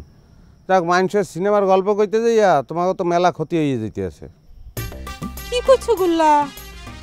আমার ঘরে আর কে ক্ষতি করল? চিটা আবার আমার ঘরে মাথায় বাড়ি মারলো কত ভাই কারণ এই কথা তোমাকে বলব কীভাবে?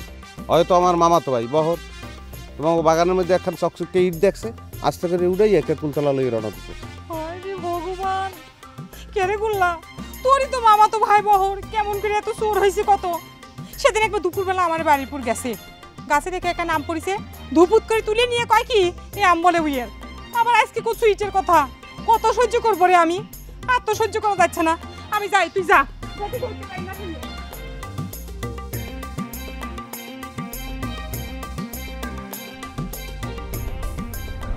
যাতে করতে পারি তুই। পড়াবি রে? আমি যদি তোর বারোটা না বাজাইছি তাহলে পরে আমার নাম বহন না। এই ইট দিয়ে যদি তোর মাথা আমি না ছেঁচেছি। এ বাহরে এই শোনেক। আমাদের ইটে পাইলে মানুষের মাথা এরকম ছেঁচাই যায়। টাকা দিয়ে যদি ইটখান তোর কিনা লাগতো তাহলে কিন্তু মানুষের মাথা ফাটানোর এত শক্তর হইতো না। দে ইটে দে। ইট দেবো মানে? তুই কি কথা করছিস শিবানী?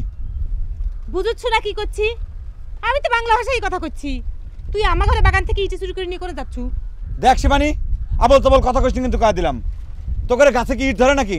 যে বাগানে আম পড়ার মতো ইট পড়ে থাকবি? আমার ঘরে বাগানে আম পড়ার মতো ইট পরে থাকবি কিনা সে কথা তো আমি তোক কব না। তুই আমার ঘরে বাগান থেকে ইটে নিছু কিনা সেই কথা ক। ইটে দি এই সেবরি এই তোর কাছে কিটা কইছে যে আমি তোকে বাগান থেকে ইট নিছি? আমার জানা শেষ। দেখ বাহর ভালো হবে না কিন্তু। তোর আপন পিসির সওয়াল কয়ে গেছে তুই আমার ঘরে বাগান থেকে ইটে চুরি করছু। ইটে দে। ইটে দিয়ে কথা ক করছি। এই সেবরি এই তুই গুল্লার কথা বিশ্বাস করিস? এই গুল্লার তো এক নম্বরের চিটার রে। উইয়ের মাথা ফাটানোর জন্য আমি ইট নিয়ে ঘুরতেছি। কি করছিস তুই? ইটে দিয়ে তুই কথা কব। কেরে স্যাংরা এই! তুই কি মনে করছু? দুনিয়ার সকলের সিটার আর তুই হচ্ছে ভালো মানুষ না? তোকে আমি চিনি না। তুই দিনে দুপুরে আম ধরে নিয়ে যে আমার আম। আর তুই কি মনে করছিস? তোর কথা আমি বিশ্বাস করব? ইটে দে। এই শিবানী উল্টি পাল্টা কথা কবে না কিন্তু কাজ দিলাম এইটা আমি কনে পাইছি তুই জানিস? সাত তারকার থেকে আমি ইট চাই নিয়ে তোর যদি প্রমাণ করবি ইচ্ছা করে কর প্রমাণ। এটা কোম্পানির নাম লেখা আছে এটার পর হায় রে ভগবান দিনে দুপুরে কেমন মিথ্যে কথা কইছে একরা এই সারা এই তোর পিসি সালতন মিথ্যে কথা কয় তোর নামে। তুই আমার ঘরে বাগান থেকে ইটে নিছু ইটে দিয়ে কথা কব বাওর দেখছি শিবানী মাথার পর কষিতে পারে কিন্তু। এই এই একটা ইটের দাম কত জানিস? তোকে বাগানে ইট করে দেওয়া যায় না? তোর বা ভাড়া দেন তুই ভাড়া ইটে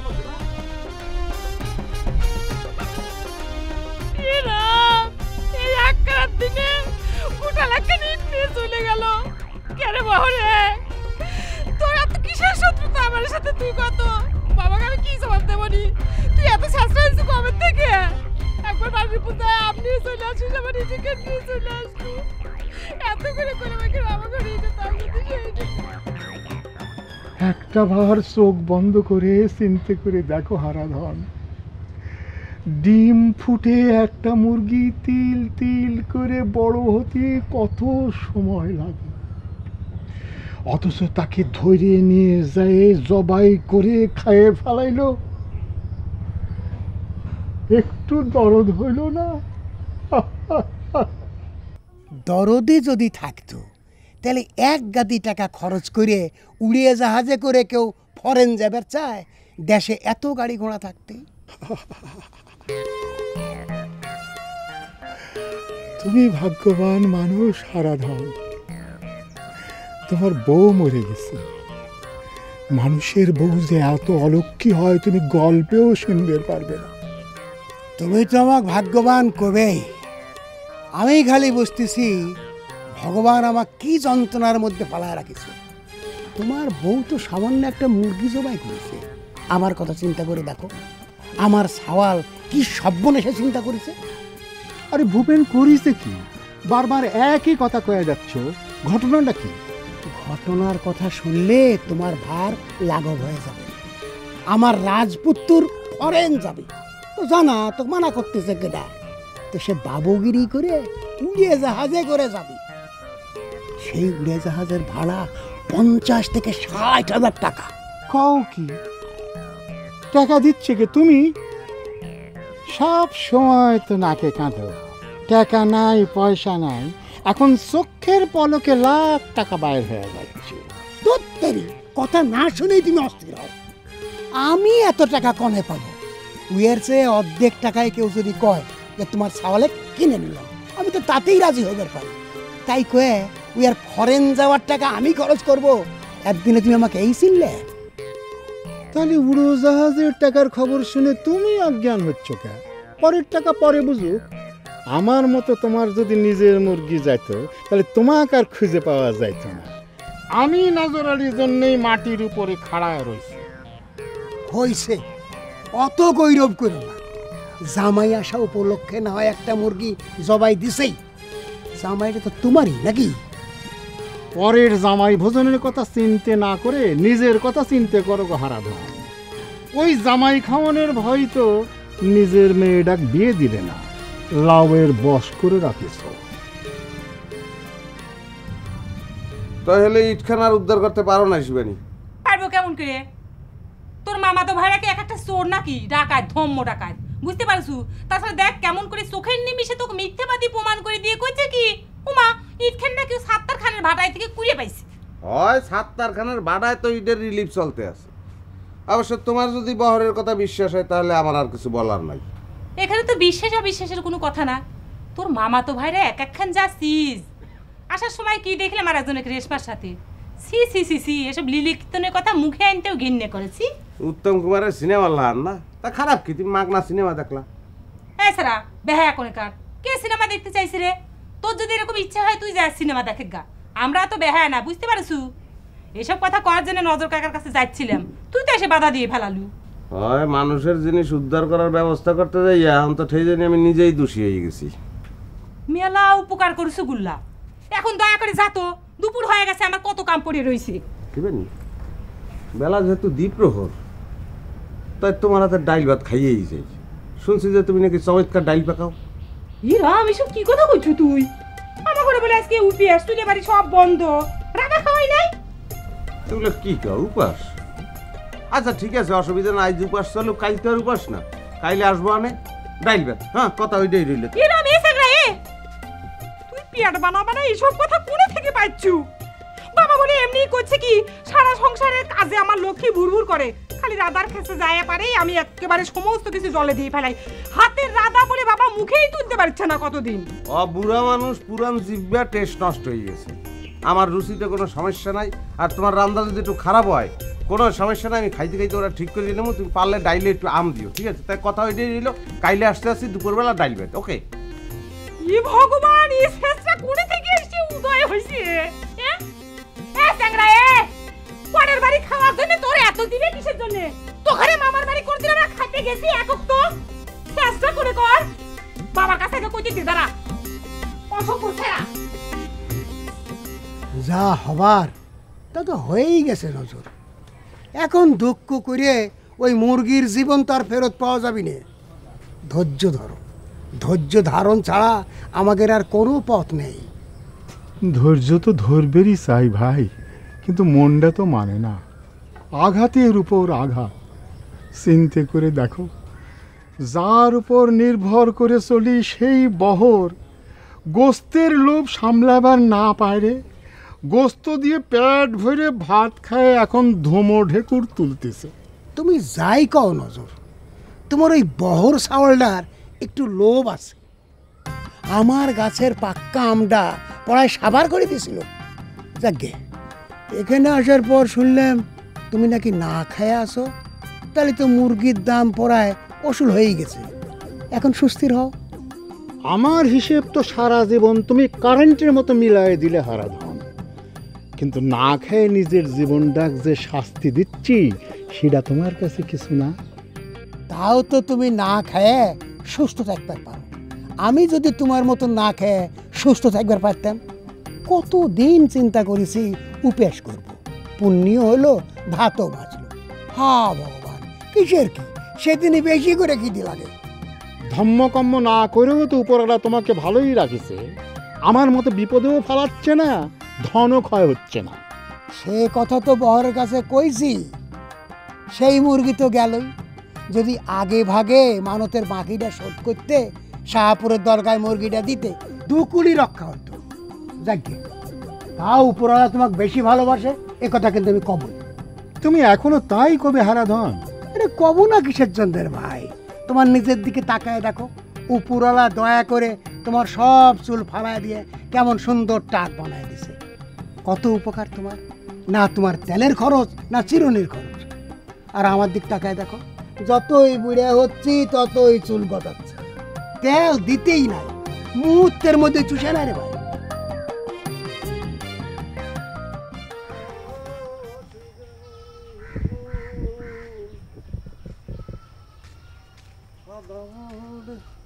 মামা।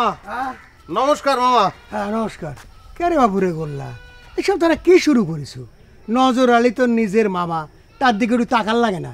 নাকি তোরা সকলে মিলে একসাথে হয়ে তাকে মারার ফন্দি করতেছো? কি গণ আমনে মামার দিকে তো আমি সবসময় তাকাইয়েই থাকি। হ্যাঁ মামার দিকে তাকাস না তার মুরগার দিকে তাকাস তা তো দেখাই যেতেছে এইটা একটা কথা বললেন মামা।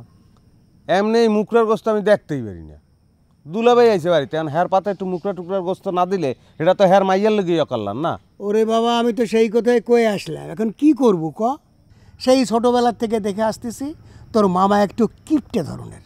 এই যে আমার সংসারে দুইজন মানুষ তার খরচ কত শুনলি তোর মামা তো হাট ফেল করবি? না মামা ঠিকই কইছেন। আপনারা নজর মামার মধ্যে তো আকাশ পাতাল পার্থক্য। আপনাকে ফ্যামিলির লোকজন আপনারা মানুষের তো খাওয়াই আনন্দ পান। কি করল ওই শিবানী কাল নেমন্তন্ন দিলে আমার ডাইল ভাত খাওয়াইবে। খুব চমৎকার বলে ডাইল ভাত রাঁধে। আপনি বলে বলছেন যে এলাকায় কেউ এরকম ডাইল রাঁধতে পারে না। শিবানী তোকে নিমন্ত্রণ করেছে? কোষ কি? কে? দিতে পারে না। আপনিও তোমার মামা হন। তা মামা ওরই মাঝে মধ্যে আসব যাব খাব এটাই তো স্বাভাবিক। না সে কথা করছি না। কাল শিবানী তোক ডাল দিয়ে ভাত খাওয়াবে নি কেমন করে? কাল একাদশীর উপবাস। আমাকে তো চুলেই চলবি না। উপাস হ্যাঁ। আপনাকে ওই উপাস কি নিত্যই লাগিয়ে থাকে মামা? কে? শিবানী কইলে আইজ উপাস সামনে কোন কাইল উপাস তাই বাঁচবেন কেমন তারা? যাক শিবানী যেহেতু বলছে সে একটা ব্যবস্থা করবেই। ব্যবস্থা করতে না পারলে সে বলতো না। অসুবিধা নেই কাল দুপুরে আমি আসি তারপর দেখা যাবে এখানে মামা।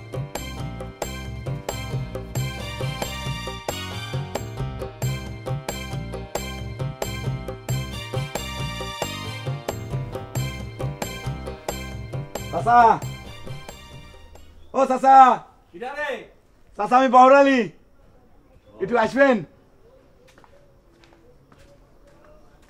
আবার তুই আইসু তোরে না কইছি যে তুই চাচা আগে উত্তেজনা হবেন না। আমার কথাটা শুনলেন তো কি জন্য আইছি?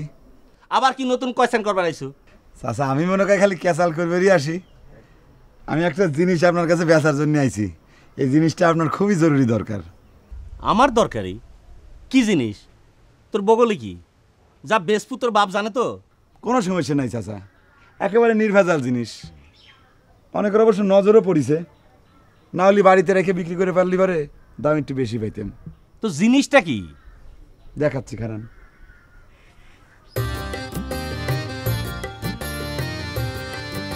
দেখেন।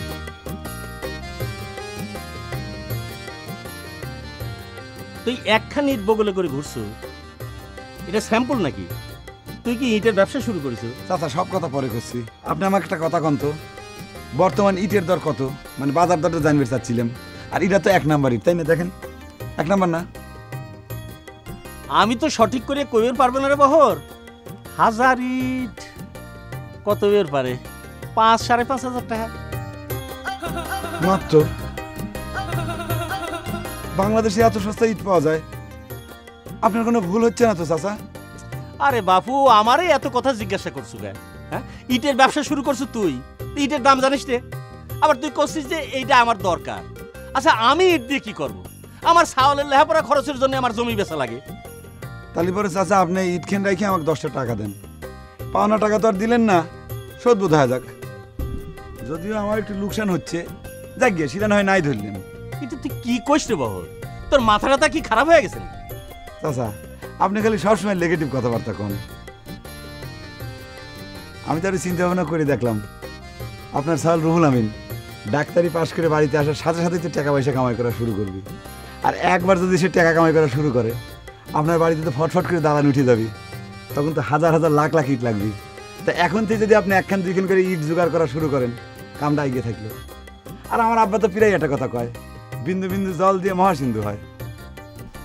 শোনেক ভর তোকে দুই বাপ বেটার যদি এতই অভাব পড়ে থাকে তাহলে ফুটিয়ে থাল হাতে করে ওই রাস্তার তেয়া মাথার যা ভিক্ষে করা শুরু করে গা। তাই না। আপনি করে চিনা আছে। পাওনা টাকাই দেন না আর ভিক্ষে করার কথা কন। জীবনে কোনোদিন ফুটে পাঁচ পাই ফকিটের হাতে দিয়ে দেখেছেন? ওই যে দিলেম ওই ইট ইটখানো নিয়ে যা তোর বাপের ভিটে দালাল তুলিস যা।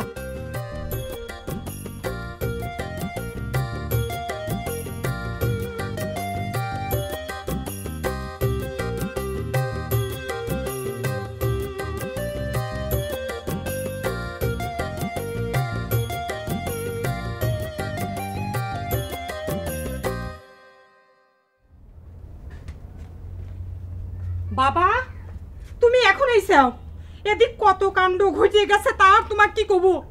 এই বহর স্যাংরাদা কি পরিমাণ চেষ্টা চেরা হয়েছে তার জন্য না গাছে একখান ফল না মাটিতে একখান কিছু থাকার উপায় আছে।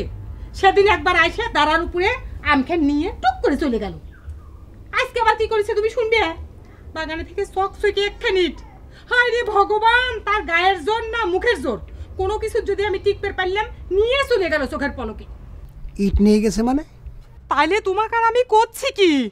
আমার ঘরে বাগানে নাকি একখান ইট ছিল। গুল্লা করছে কি? পুড়েছিল বলে।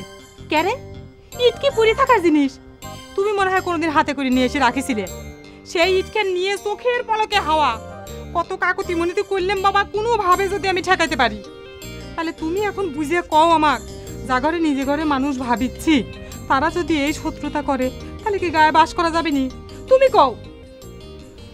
ও বাবা যায় কি একটু দেখবে ইটখান উদ্ধার করা যায় কিনা? খাড়া ইট উদ্ধারের অভিযান পরে শুরু করতেছি। একখান ইটের দাম দিয়ে তো এক একটার খাওয়া হয় না। বাবা তুমি কি করছ? গরম থাকতে থাকতে তুমি যদি যাই ইটখানের খোঁজ না করো তাহলে বহুত গায়েব করে দিবিনি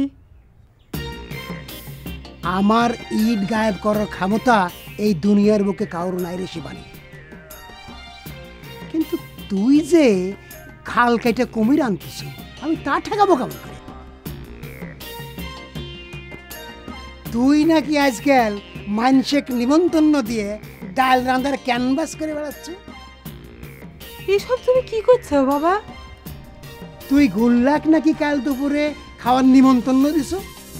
তুই কি জানিস যে ওই রাক্ষসের এক অক্টে কয়েসের চাল লাগে?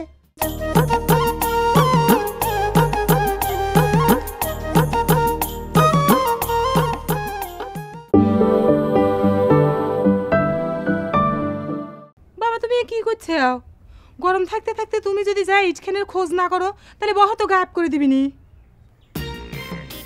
আমার ইট গায়েব করার ক্ষমতা এই দুনিয়ার বুকে কারোর নাই রে শিবানী। কিন্তু তুই যে খাল কেটে কুমির আনতেছ আমি তা ঠেকাবো কেমন করে? তুই নাকি আজকাল মানসিক নিমন্ত্রণ দিয়ে ডাল রান্দার ক্যানভাস করে বেড়াচ্ছ এসব তুমি কি করছ বাবা? তুই গুল্লাক নাকি কাল দুপুরে খাওয়ার নিমন্ত্রণ দিছ? তুই কি জানিস যে ওই রাক্ষসের এক অক্টে পয়সের চাল লাগে? রাম! এ ধরনের ধম্ম রাখাতে কথা তোমার কাছে কে কইছে বাবা? আমি কিসের জন্য এক নিমন্ত্রণ করতে যাব? বিয়ের যদি ওকতে একশো টাকা চাল লাগে এক মুষ্টি ভাত লাগে তাও তো না? আমার কি ঠেকা পড়েছে এক নিমন্ত্রণ করার? ওই তো আরও এক তো খাওয়ার ধান্দা করেছিল আমি কোনোভাবে রাজি হইলাম না। সেটা তো ভারী সিটার হইছে। ও বাবা। এখানে খোঁজ করা লাগতো না।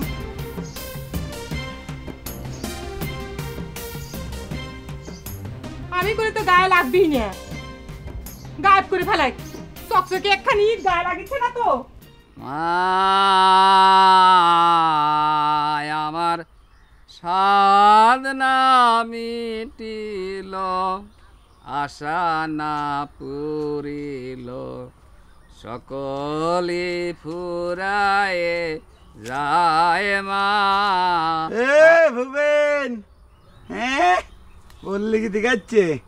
এ গানের ভিতরে মারধর দিছিস কিসের জন্য রে খামাকা নিজেরা চিটারি করে বেড়াবি আর মা এসে তোকে মনের স্বাদ মিটিয়ে দিবি না? আমি তোর সাথে কি চিটারি করলাম রে বহর? আমার সাথে ডাইরেক্ট চিটারি করিস নেই। কিন্তু আমার কাকাটার সাথে দিন রাত চব্বিশ ঘণ্টা তো চিটারি বাটপারি করতেছু। ভুল করছু রে বহর। তোর কাকাই আমার সাথে চিটারি করতেছে। আমি তোর কাকার সাথে কোনো চিটারি করি নেই। দেখতেছু না এত বয়সে বুড়ি হয়ে যাচ্ছে তাও বিয়ে দিচ্ছে না। এটা কি চিটারি হচ্ছে না? এ চুপ করে হে। বিয়ে বিয়ে বিয়ে। এ নিজের পেটের ভাত জুটিনের ক্ষমতা নাই বিয়ে করে। আমাকে বাড়ি দুটো হয়েছে সব সাথে একজোট হয়েছে তাই না? খারাও। তোমাকে একজোট ভাঙার ব্যবস্থা করতেছি। এ স্যার এই! আবার তো শুনলাম নতুন করে নাকি চিরারি শুরু করেছু। সবার কাছে কয়া বেড়াচ্ছু? মালুসিরা যাবি নাকি? মালেশুরা না হে গাধা মালয়েশিয়া। যাবের তো চাইছিলেমি রে বহর তুই তো সব নষ্ট করেছিস আবার চিরারি কথা কওয়া শুরু করেছি তাই না? এই আমি তোর যাও নষ্ট করলাম কেমন করে রে শোন ভালো হয় যা। কাকা যেভাবে কয় সেইভাবে চলে দেখবি আয় উন্নতি হবি মানুষ হবে পারবি জীবনে। আর পাপ করিস নি পাপ করে ছাড়ি দে বুঝিছু? পাপ তো তুই করুছু রে বহর। আর সেই পাপের জন্য আমাদের সব সর্বনাশ। তুই যদি নহর আর ফজরের ঘর থেকে সোনার বলটা চুরি না করতু তাহলে তো মনে কর একদিন আমি মালয়েশিয়ায় থাকতে। মুখ সামল করে কথা কস কিন্তু কলাম ভুবেন। একটা লোহার বল রাখিয়ে সোনার বল কায়া জোর চুরি করিস তোরা। হ্যাঁ? এই আমার দুই ভাই যদি কোনো একটা জিনিস পাই থাকে তাহলে এবার তুই সেটার অংশ দাবি করিস কেবা করি রে? নাকি আমার দুই বলদ ভাই পায় তাকে মাথার উপর কাঁঠাল ভেঙে কার ধান্দা করতেছিল? আরে ভাই অংশ কীভাবে হয় না হয় সেটা আমি নহর আর ফজর বুঝবে তুই আরে বহর গামছায় জরে বগলতলা এটা কি চুরি বলটা নাকি? হ্যাঁ বুকা কানে কর। সোনার বল কোনো সোনার চার কোণে চয় রে গাদা চিটার কোণে কর। দেখি দেখি দেখি দেখি। কি চোখ দেখাবো চুরি করে নিয়ে এসো দেখি। চুরি করব কিসের জন্য? দেখি না। খবর তো গায়ে দিবি না। দেখি। ভুবেন ভালো মিলে কিন্তু কলা দেখি। ভুবেন ভালো মিলে কিন্তু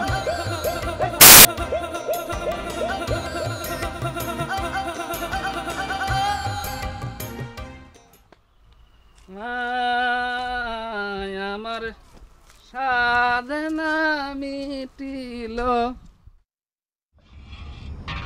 আমাক জোর করে থাকবে কয়া আপনাকে বাড়িতে একটা অশান্তি সৃষ্টি হয়ে গেল আমরা আরে বাপু এই বাড়িতে অশান্তি লাগিয়েই থাকে। তুমি থাইকেও হচ্ছে না থাকলেও হতো। বাতাসের সাথে অশান্তি এই বাড়িতে উড়ে আসে। মুরগিটা জবাই করা ঠিক হয় নাই আম্মা। আমার তো সব রকম খাবার খাইয়ে অভ্যাস আছে। আমার তো মনে কর তোমার শ্বশুরকে আগে থেকে ছাইড়ে দিয়ে তার আসপর্দা বাইরে গেছে। ঠিক কামটাই করেছি। এই যে তোমার শ্বশুর এখন হাউতাস করতেছে সেটা দেখতেও আমার খুব ভালো ঠেকতেছে কিন্তু আপনার মিয়া শুনলে আমার উপরে খুব রাগ করবি না। কইও যে আমার একটু ভালো লাগার জন্যই জোর করে রেখে দিছিল। কোনোদিন স্বামী নিয়ে তো কোনো সাদাল্লাদ করি নেই আবার জামাই বেটার বউ, নাতিপুতি নিয়ে যে কোনো আনন্দ করব, সেই ভাগ্য আমার নাই। কত গরিব মানুষ, অভাবী মানুষ, কষ্টে থাকে, কত সুখে সংসার করে। হাসে, আনন্দ করে।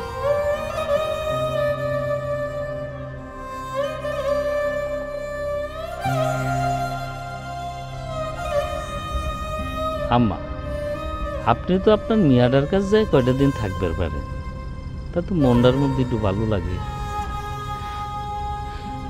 যাওয়ার তো ইচ্ছে করেই রে বাবু। কিন্তু যাবে পারি না ওই দুটোর কথা চিন্তা করে। আমি তো জানি আমি বাড়িতে না থাকলে নহর আর ফজরের কপালে ভাত জুটবি না। আম্মা হজর খুব করে ধরেছে। আব্বা কয়া ওই চুমকির সাথে ওর বিয়েটা দেওয়ার জন্য। এমনকি ঘর জামাই হলেও অসুবিধা নেই। আমার তো কোনো কিছুতেই আপত্তি নেই রে বাবু। দেখো তোমার আব্বার সাথে কথা কয়। তা মনে করে কোনো ফল হবি না। আর উয়ারও হয়েছে নিষ্কর্মা। তা না হলে আজকালকার চাউল পালের বিয়ে করার জন্য কি বাপের মুখের দিকে চাই থাকা লাগে? আমি তাহলে সকালে উঠেই চলে যাই আম্মা। আমাকে ঠেকাবেন না। এমনি শ্বশুর সাহেবের হাটের উপর মেলা প্রেশার দিয়ে ফেলাইছি। এর খেসারত যে আপনাকে কয়দিন ধরে দিতে হয়, সেটাই চিন্তা করতেছি। না রে বাবু, তুমি এসব নিয়ে কোনো চিন্তা করো না।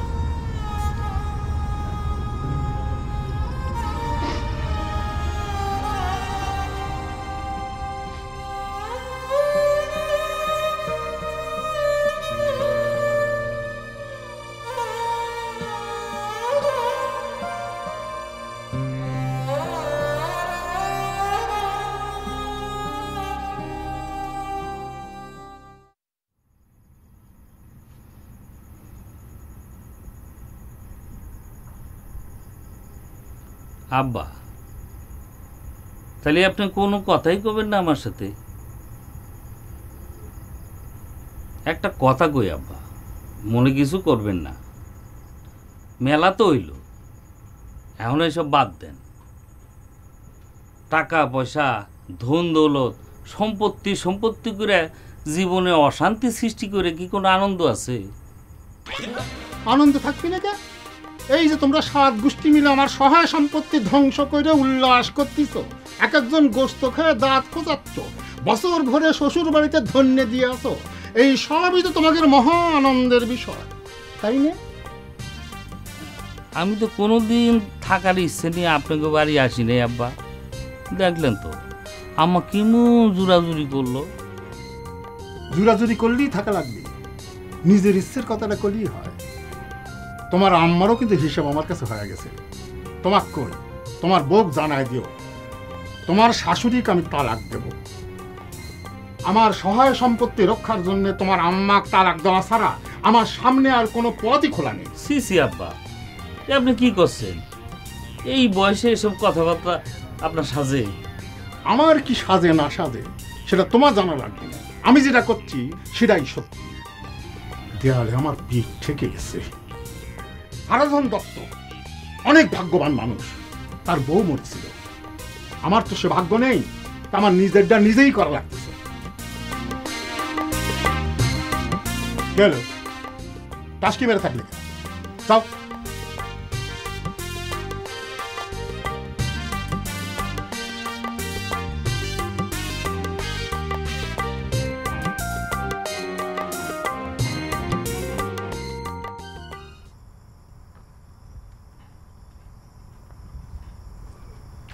দুলে ভাই খারান। আচ্ছা দুলে ভাই আপনার মতলবটা কি কন্ত মতলব আর কি শ্বশুরবাড়ি আদর আপ্যায়ন ভোগ করা। আপনার কি হায়া লজ্জা বলে কিছু নাই? শ্বশুর বাড়ি মানুষ কি মাসের পর মাস পড়ে থাকে নাকি? আচ্ছা আমার শ্বশুরবাড়ি থাকা নিয়ে তোর এত মাথা ব্যথা কে? আমার শ্বশুর শাশুড়ি তো এখনও বাইসে আছে। কোনো সমস্যা হলে তারা কবি। শ্বশুর যাতে না বাঁচে সে ব্যবস্থাই তো করতেছেন। ষড়যন্ত্র করতেছেন বুঝিনে মনে কয় তাই না? আপনি সব কিছু বুঝতে পারতেছি। আপনি খান্ত দেন, কালকে সকালবেলা টলবি টুবলা ব্যাগপত্র নিয়ে আপনি চলে যান তো। আমি একটা জিনিস বুঝতে পারতেছি না, একজন বিবাহিত মানুষ। বউ সংসার ফালা, তুই মাসের পর মাস কেবা করে অন্য এক জায়গায় পড়ি আমার তো মাথায় আসে না। তুই তো খুব বুদ্ধিমান ছাড়ল রে বহুর। বিয়ে না করেও বিয়ে করা মানুষের মনের কষ্ট এত সুন্দর করে বুঝতে পারিস? শোনে, এই বউ ফেলে থাকতে অসুবিধা হয় কয়াই তো তোর বউকে আনবার ব্যবস্থা করতিস গুল্লা কাল সকালে আমাকে বাড়ির যাচ্ছে। তোর বুকে সাথে করে আনবার জন্য। বুঝছিস? কি সব সে কথা করছেন দিলে ভাই? হ্যাঁ, দিলে ভাই। আপা আপা দেখেছেন দিলে ভাই কি সব সে কথা করছে আপনাকে মনে হয় শেষ পর্যন্ত আর বাঁচাবের পারলাম না। এরা সব কি ষড়যন্ত্র শুরু করেছে? আপা আছে আছে কি আছে রে? কে রে এগুলা। তুই এখানে নিয়ে আসলু আমাকে রে? শোন শরীর গেছে বেটা কষা হইয়া। মামার কাছে ডাবের পানি গ্রহণ করা এখন সবার জন্য খুব জরুরি বুঝছ? তো তোর মামার গাছের ডাব খাব তুই আমাকে বাগানে কে? আহ তা হারাদন দত্ত তোমার মামা হয় না। ওঠ। কি করছ তুই? তুই আমাকে গাছের ডাব খাব? হয় তা তোরে লইছি কি লিখিয়া তোরে আনছি তো তোর কাছে ডাব খামো হইলি হন আমার একটা নীতি আছে চুরি চাবানের মধ্যে আমি নাই জাগোটা খামু হ্যাঁ একজনের সাক্ষী রাখলাম। ওকে ওড়স না কাটু এগুলা এই গুল্লারে তুই ভুলেও এ কাম করিস নে। হারাধন দত্তক চিনিস নে। সে ঘরে শুয়ে রয়েছে তাতে কি? তার চোখ দুটো কিন্তু এই বাগানেই রয়েছে জীবনে তার গাছের দুইটা পাতাও কেউ চুরি করে পারেনি ডাব তো মেলা পরের কথা হে। আচ্ছা আমরা তুই ফালতু কথা কও আমরা চুরি করতে আছি তুই মালিক পক্ষের একজন হয়ে আসো না। ওঠো না কা ওঠ। দেখি হারাদন দত্তর কয়টা চোখ কোন জায়গায়। এ ফজর। হ্যাঁ এগুলা এই মাত্র না চা খাই আসলাম আর ডাব খাওয়ার খাম নাই যাই বাড়ি যাই। এবার চার ডাবের কোনো তুলো নয় একটা ঠান্ডা আর একটা গরম। কোনটা খাওয়ার দরকার কোনটা দরকার নাই তুই তুই মরে বুঝবি ওঠো না কাবড়া এ নহর এ এ, উঠে যায় অসুবিধা নেই। পারব? এ তাইলে আমি কি কি লাভ দরকার? এখন কি শিল্পী না? সুন্দর উঠে যাবে কেউ জানতে এ আমি যাই আমার একটু তুই বেড়া তুই লগে রাতে পেছন থেকে ঠেলা মার তুই দেখলি আমাকে বাবা- পাবো না তুই দেখুন খোলা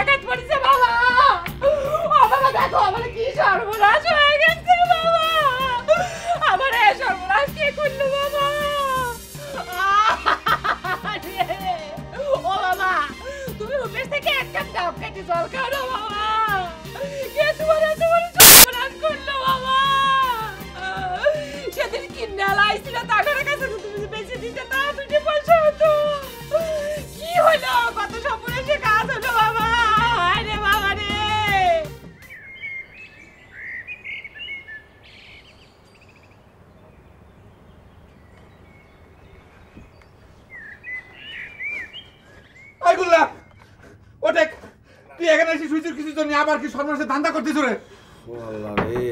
আল্লাহ শুরু করে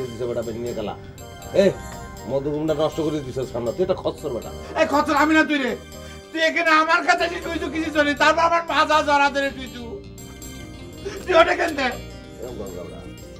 ঘুমাই দিতে সমস্যা কি হয়েছে দুলাভাই হয়েছে বেটা ও ঘরে জায়গায় এরপরে মাসায় কামড়ায় গরম আর তুই ভাগ পাইছি এই এখানে ঘুমাইছি সমস্যা কি ফাঁক পালি বলে তুই এনে শোয়া লাগবে তাই না? জায়গা দল করা লাগবে। তুই ওটাকে দৌড় তোর সমস্যা কোন জায়গায় রে?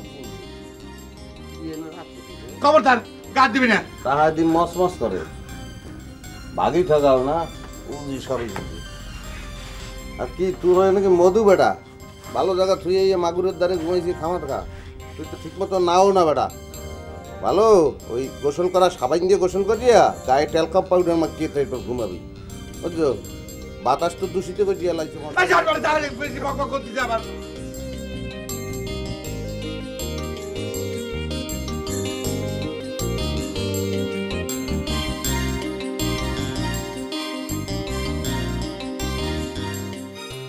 রে হয়ে হ্যাঁ? তো ভগবান মানুষ কোনোদিন মানুষের সম্পূর্ণ কাজ করতে পারে সম্পূর্ণ এত বড় সম্পূর্ণ করিছে? এত বড় দুঃখিয়া তুমি উপর থেকে তো সব দেখিছ, তাই রে তোমার পায়ে জোড়া মাঠা বলে দিব, মা। আমার বাপের ডাবের জল যার পেটে আছে, তুমি তার পেটে রক্ত করে দাও কলেরা করো ভ্যাট করো তুমি কলেরা করে দাও এমন ভাবে কলেরা বমি দেওয়া যাতে চিকিৎসা করার সময় না পায় মা ও মা তুমি তাজা তাজা ধরে খাও মা আজাই খেয়ে বেলাইছে রে শিবানী সব শেষ বাগানের কাছে। ডাব নামের কোনো বস্তু অবশিষ্ট নয়। ও বাবা ওরা তো তোমার সব বসান্ত করতে আইছিল বাবা। তুমি অস্থির হও না। তুমি থানায় যাও। মরামরির নামে কেস করে দাও। পুলিশ আইসে পিটপুরা দিয়ে বাই দিয়ে গুনা বাইরে উইরে পেটের থেকে ডাবের জল বাইর করুক ওরে মা ডাবের জল বার করতে পুলিশ টাকা লাগবে না। এই হারাধন দত্ত একাই যথেষ্ট। মারে আমি খালি চিন্তা করতেছি, আমার এমন জন্মের ঘুম কেমন করে আসলো? রাত ভরে ডাবগুলে খেয়ে আমারে উঠেনে গোলাগুলে পালায় গেল। আর আমি কিছুই টের করবে পারলাম না রে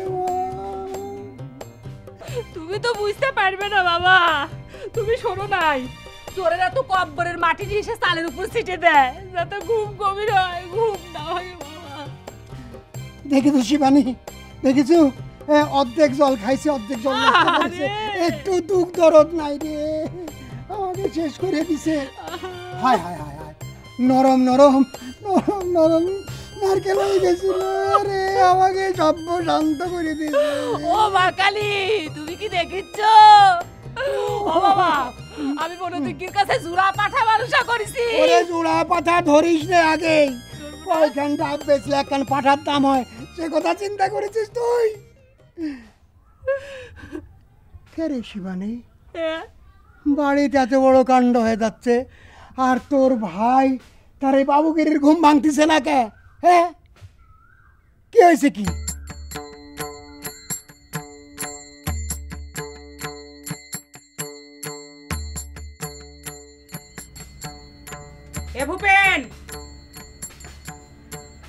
শুনছো না তুই?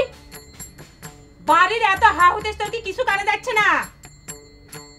কেন ভূপেনে শুনতুছ না কথা তুই?